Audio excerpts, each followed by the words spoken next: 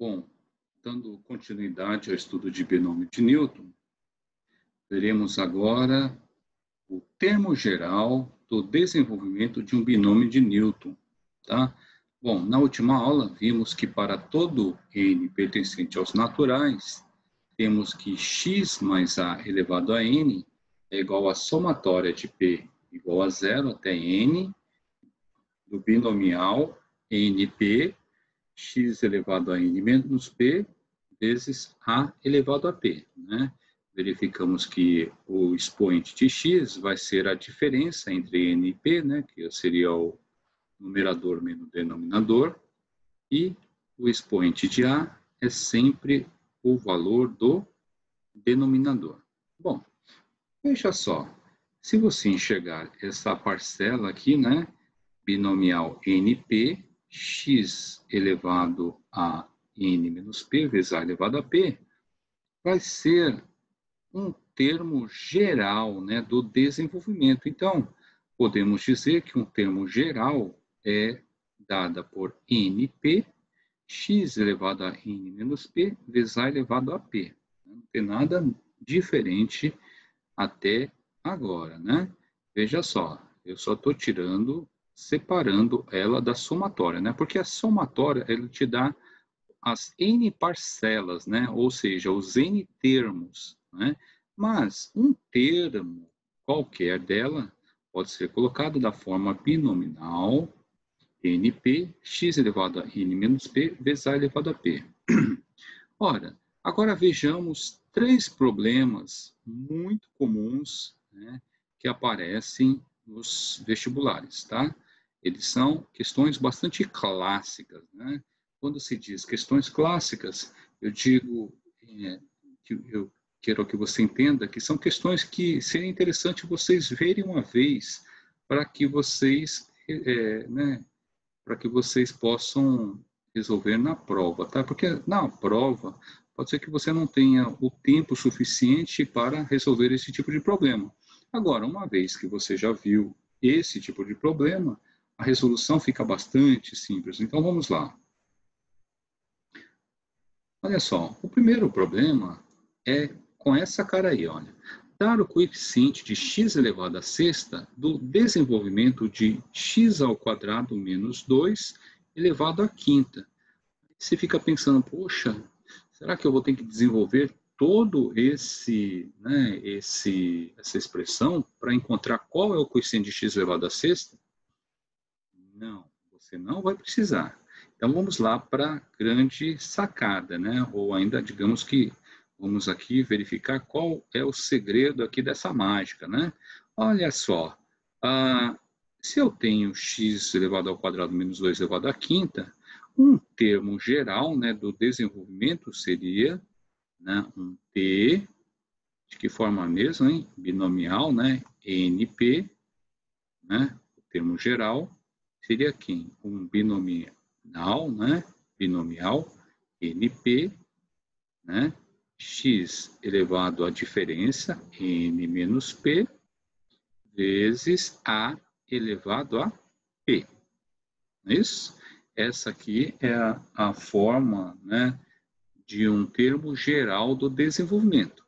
Então, vamos aplicar essa forma do termo geral para essa expressão. Né? Então, termo geral qualquer, né, um dos termos, vai ter que cara? Vai ser binominal, aqui vai ficar 5, né? P, n igual a 5, né? Vezes, no lugar de x, vai ficar quem? x ao quadrado. Então, vai ficar x ao quadrado elevado a n vale 5. Então, vai ficar 5 menos p vezes a. Quem é a? é menos 2. Presta atenção, é menos 2, não é 2, né? Menos 2 elevado a P. Tudo bem? Ora, vamos melhorar um pouquinho isso aí, né? Vamos melhorar um pouquinho isso aí. De que forma? Isso aí é a mesma coisa que quanto? Olha, binomial 5P, eu não vou, não posso fazer nada por enquanto com ela, né? Aqui eu vou ficar x elevado a quanto, hein?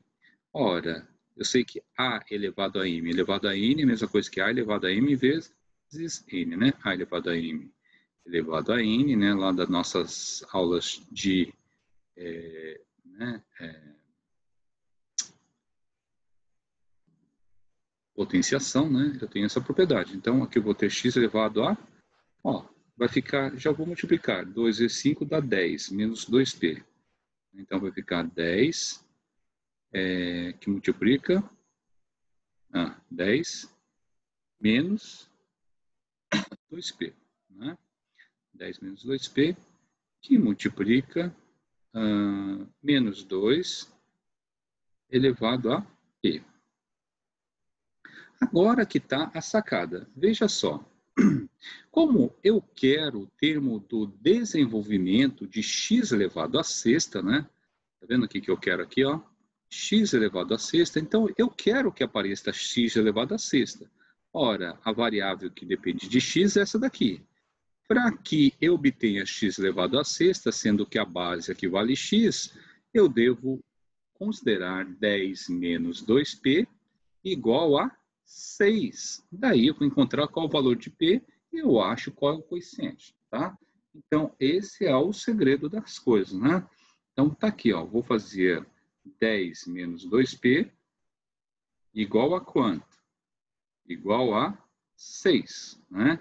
Então, daí eu tiro que 2P é igual a 4, portanto, o P tem que ser igual a 2, né? Veja bem, se eu faço P igual a 2, eu vou ter x elevado a 10 menos 2 vezes 2 é x elevado a sexta, que é o que ele quer, que vai estar multiplicando esse binomial 5, 2 e menos 2 elevado ao quadrado. Não é? Então, veja só, qual é o coeficiente? Né? Então, logo, eu vou ter o quê? Né? Deixa eu só colocar aqui um pouquinho para cima. Né? Logo, eu vou ter o quê? Né? Ó, substituindo, né? Substituindo, eu vou ter que T vai ser igual a quanto? Olha só, o binomial P vale 2, né? Então, binomial 5, 2, x elevado a sexta, menos 2 elevado ao quadrado. Não é isso? Então, vamos lá. Ó. Menos 2 elevado ao quadrado dá 4. É, binomial 5, 2 esse valor aqui dá 10, né? 5, 2, vou fazer aqui no rascunho, ó. Binomial 5, 2. Isso aqui é a mesma coisa que combinação de 5 tomados 2 a 2, né? Ou seja, é 5 fatorial, 2 fatorial, 5 menos 2 dá 3 fatorial, né? Isso aqui vai ficar 5 vezes 4 vezes 3 fatorial sobre 2 vezes 1 vezes 3 fatorial. Né? Cancela, cancela, vai ficar 20 sobre 2, que dá 10, tudo bem? Então tá aí, 10.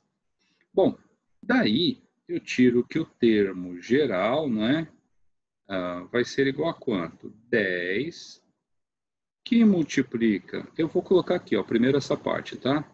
Vezes 4 vezes x elevado a sexta. Então, Daí eu tiro que o termo vai ser igual a 40 x elevado a sexta. Pronto, é isso que ele quer no final das contas, né? T é igual a 10 vezes x elevado a sexta. Ou seja, o termo, né, às vezes ele pede qual é o coeficiente que multiplica x elevado a sexta, né? O coeficiente seria 40, tudo bem? Então, no caso, ele é o que ele quer, né? Dar o coeficiente. Então, o coeficiente é 40, tá? Então, se eu for colocar uma resposta, ah, o coeficiente é 40. Só que é o coeficiente, né? O coeficiente é o que multiplica x elevado a sexta.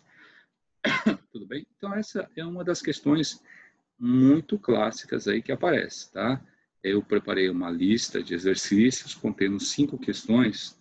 Né? Dessas cinco questões, ela vai pedir esses assuntos aí, tudo bem? Bom, ah, depois faça as, as tarefas, né? Faça a sua parte. A próxima questão, né? Tá aí, ó. É também aquelas questões das clássicas, né? Olha só. Deixa eu diminuir um pouquinho aqui para você enxergar.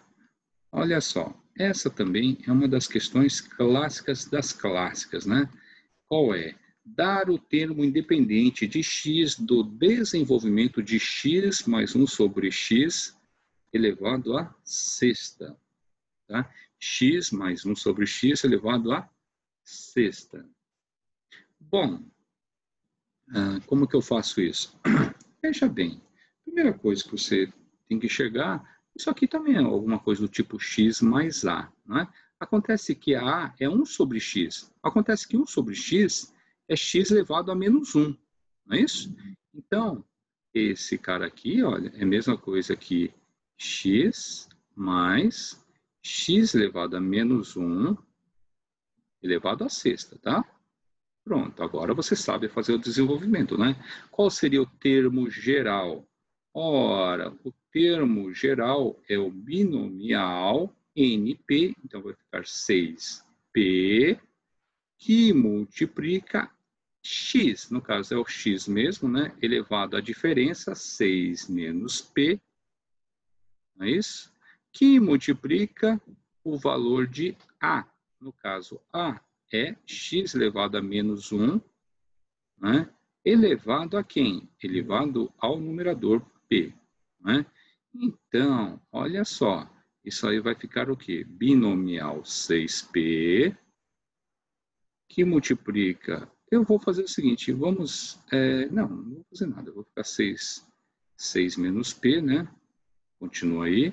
Que multiplica quem? Aqui vai ficar x elevado a menos p, não é? Veja bem, olha só, as bases são iguais, né? Quando as bases são iguais, eu somo os expoentes, não é isso? Então, isso aí vai ficar o quê? 6P, que multiplica, mantém a base, somos expoentes. 6 menos P mais menos P. Então, vai ficar 6 menos 2P, não é? 6 menos 2P. Ou seja, o meu termo geral é binomial 6P, que multiplica x elevado a 6 menos p. Acontece o seguinte, que ele quer o que se chama de termo independente. Entenda que o termo independente, tá? vamos fazer uma análise do que significa termo independente. Ora, termo independente, né? Ah, quando a gente estuda funções, por exemplo, né, do, do, do segundo grau, né, o termo independente é aquele termo independente de x, não é isso? E é essa mesma noção né, que a gente tem. É o termo independente de x, o termo que não depende de x, tá? É aquele termo que não está multiplicando x. Ora, para isso acontecer, esse valor aqui tem que ser igual a quanto, hein? Tem que ser igual a zero, né?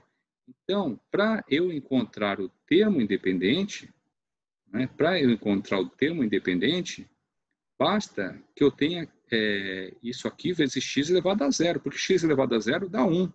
Né? Então, termo inde, independente, né? eu devo fazer o quê? Eu devo obter alguma coisa tipo x elevado a zero, né? x elevado a zero. Então, 6 menos p, 6 menos 2p, né? Então, eu devo ter 6 menos 2p tem que ser igual a zero. Ora, se 6 menos 2p for igual a zero, eu vou ter que aqui eu vou ter x elevado a zero, que vale 1. Então, só vai sobrar essa parcela aqui que não depende de x. Então, daqui eu tiro que o valor de p é igual a 3. Né? Se p for igual a 3, né? então esse termo, né? esse termo aqui representa qualquer termo, né? ele vai ser quem? 6 3, x elevado a zero, mas x elevado a zero vale 1, não é? Por isso que ele chama independente, tudo bem? Então, o coeficiente vai valer quanto? O binomial 6, 3, tá? Se você resolver esse binomial 6, 3, né? Isso aí vai dar 20, tá? Se quiser resolver aí, pode resolver, tá? Então, a resposta aqui, né? Qual é? O termo independente é 20 tudo bem? Ou seja, se eu desenvolver isso aqui, vai ter aquelas parcelas é, x elevado a sexta, x elevado a quinta, né? não sei o que, papapá, mais o termo independente, que é 20. Tudo bem? Então tá aí, mais um segredo desvendado. Tudo bem?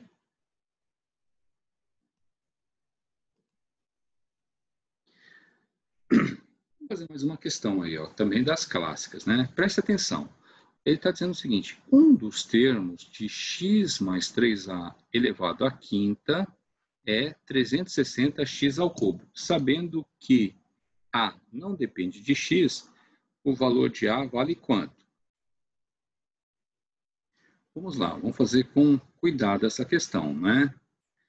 Veja bem, um dos termos, né? Se ele quer saber um dos termos, vamos aplicar a formulinha do termo geral, né?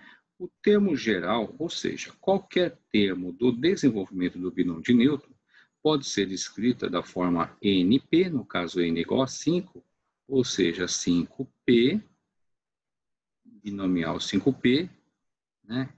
NP, que multiplica A. No caso, meu A é X, elevado a quanto? 5 menos P, que é a diferença das duas, né? 5 menos P, vezes o valor de né, é, né, é, X elevado a 5 menos P, vezes o valor de 3A elevado a quanto, hein? Elevado ao denominador P. Pronto. Tá aí, né? Essa daí é a expressão do meu termo geral. Bem? Bom, veja bem aqui, olha. Dá uma olhada nisso aqui, dá uma olhada nisso aqui. Né? Hum, eu vou até reescrever isso aqui, ó. Isso aqui é a mesma coisa que binomial 5p vezes 3a elevado a p, não é isso? Vezes um x elevado a 5 menos p. Pronto. Agora, talvez não tinha necessidade de fazer isso, mas dá uma olhada aqui, ó. Eu tenho x ao cubo, né? Eu tenho x elevado a 5 menos p. Se eu quero é, x ao cubo, ora, você já está enxergando qual é o segredo, né? Eu quero 5 menos p aparecendo 3 aqui, não é? Então, o que, que eu devo fazer? Ora, eu devo fazer, né? Então, eu devo fazer 5 menos p ser igual a 3, porque aí eu vou ter x ao cubo aqui, não é isso? Então, daí, eu tiro que o valor de P é igual a 2. Né? Pronto, se P é igual a 2, né, eu vou ter x elevado ao cubo.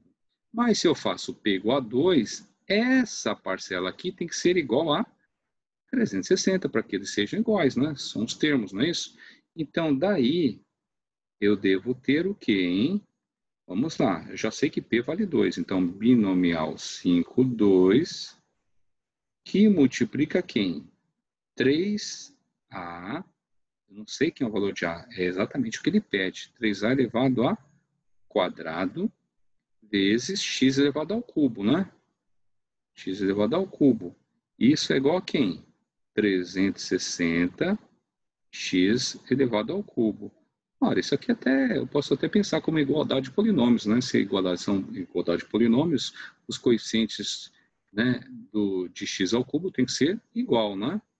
Bem? Então, daí eu obtenho o quê, hein, meu amigo? Dá uma olhada. Binomial 5, 2, né? Isso aqui a gente já fez também várias vezes, né? Quanto é que vale o binomial 5, 2, hein? Binomial 5, 2, né? É, vale quanto? Vamos fazer aqui no nosso rascunho. 5, 2, isso aqui é 5 fatorial, sobre quem? 2 fatorial, 3 fatorial, né? Isso aqui vai ficar 5 vezes 4 vezes 3 fatorial, sobre 2 fatorial, dá 10, né? Acho que a gente já fez isso na, nessa aula mesmo.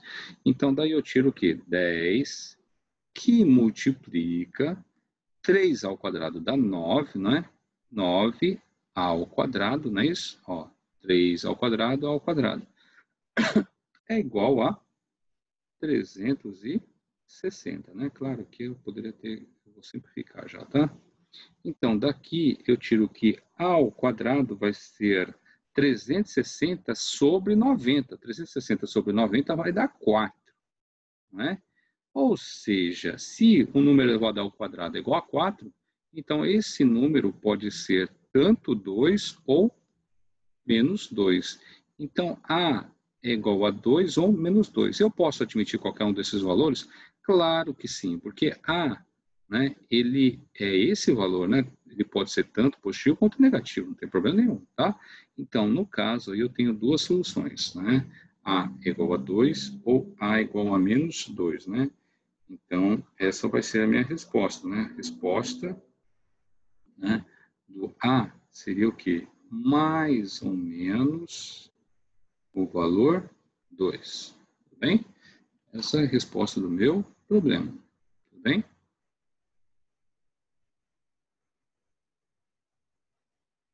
Bom, vejamos agora então os exercícios propostos. Tá aí, ó. São questões, né, tiradas de vestibulares que vocês vão fazer, né? Tipo SPSEX, coisas do tipo. Então, veja só, vamos ler a primeira questão.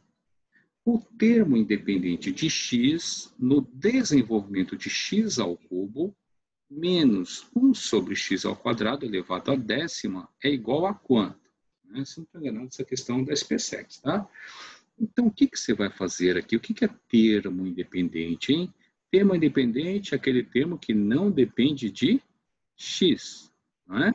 Ou seja, vai, é, eu quero saber aquele cujo né, o valor do expoente de x resulte zero, né? A única atenção que você tem que ter aqui que essa expressão aqui, né, ele é a mesma coisa que o quê? Que um x elevado ao cubo, né, que vai te ajudar um pouquinho, em vez de escrever 1 sobre x ao quadrado, você pode escrever como sendo o quê?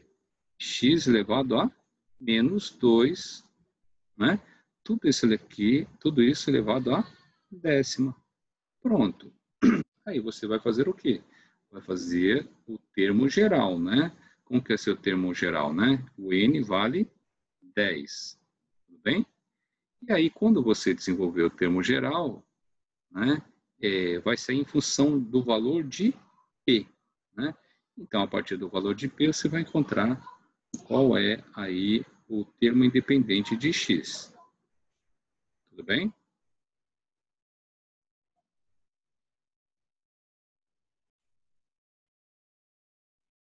Na questão 2, ele quer saber qual a soma dos algarismos do termo independente de x. Tá? Então, também aqui, né, você vai encontrar, primeiro, você vai encontrar quem é um termo independente de x. Né? Então, digamos que seja um número de quatro algarismos, tá?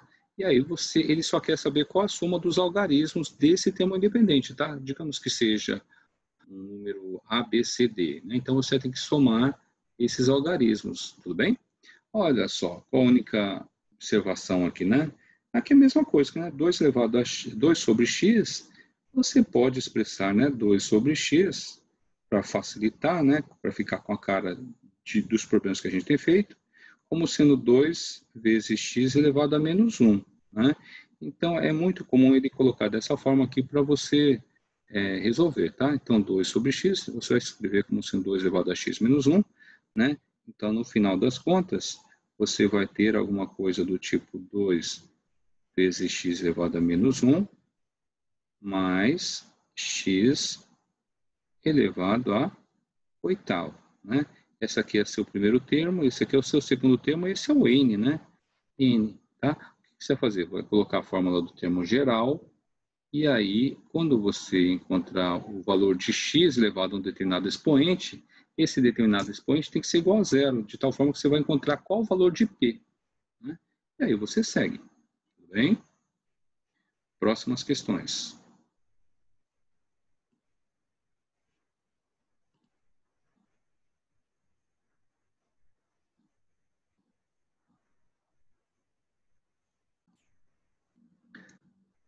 Nessa questão 3, ele está pedindo, né, está dizendo o seguinte, desenvolvendo o seu binômio P de x igual a x mais 1 elevado à quinta, pode-se dizer que a soma dos seus coeficientes é igual a quanto?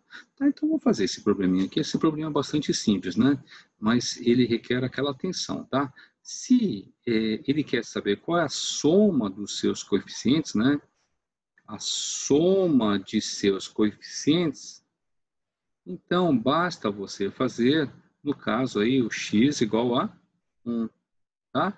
Se você faz x igual a 1, você vai ter a soma dos coeficientes, né? Então, se você faz, se x for igual a 1, então você vai ter 1 mais 1 elevado a quinta, né?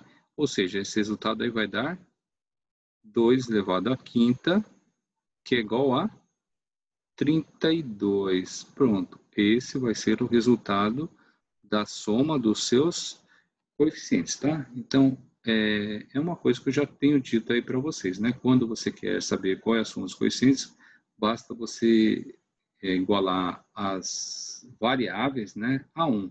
Se tivesse uma outra variável y, por exemplo, você igualaria a 1 também, tudo bem? E aqui, né, ó, dar o coeficiente de x elevado à quinta no desenvolvimento de 2 sobre x mais x elevado ao cubo, né, eu acho que vocês não, vocês não terão problema no desenvolvimento desses problemas aqui, tudo bem?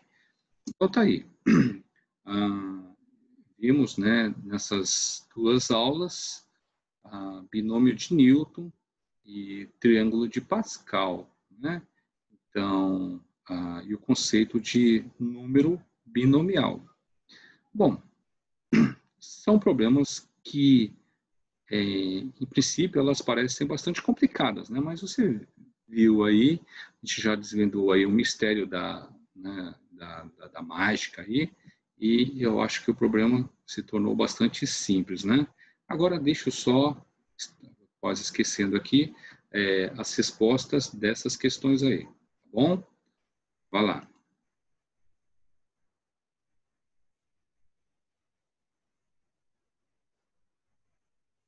Deixa eu dar um zoom aqui para vocês.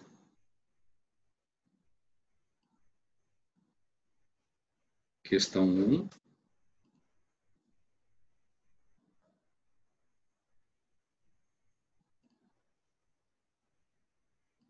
Questão 2.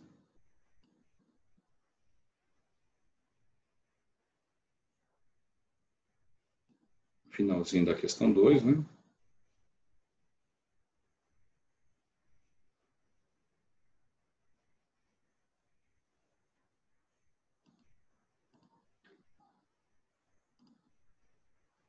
Questão 3, que a gente já resolveu, a soma dos coeficientes. Questão 4,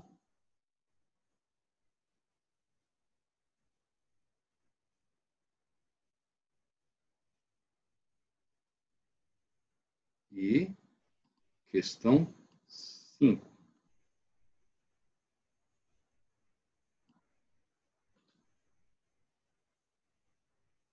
Você vê que o processo todo é muito parecido, né? O termo geral do binômio será dada por essa relação, né? Ele coloca lá a fórmula do termo geral, ele dá uma rearranjada, né? Que então vai ficar x elevado a 12 menos 4p, no caso, ele quer o termo independente. Se eu quero o termo independente, basta eu fazer essa expressão aqui igual a zero, né? Então, eu devo fazer o quê? 12 menos p igual a zero, então, enquanto p igual a 3. Se eu faço igual p igual a 3, eu retorno novamente na, né, na, na expressão. Então, vou ter o quê?